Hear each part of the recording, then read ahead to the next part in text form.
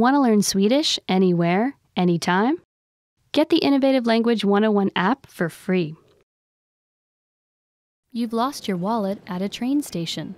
Hoping to get your wallet back, you go to look at a map of the entire train station. Where is the Lost and Found office located?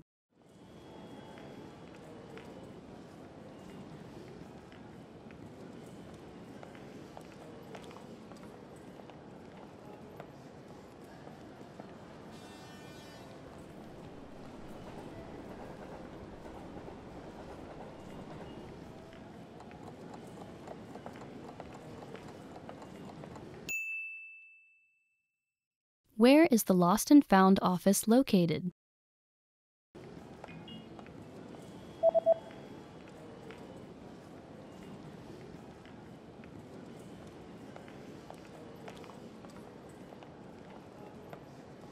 The Lost and Found office is located in number 5 on the first floor. Nummer fem.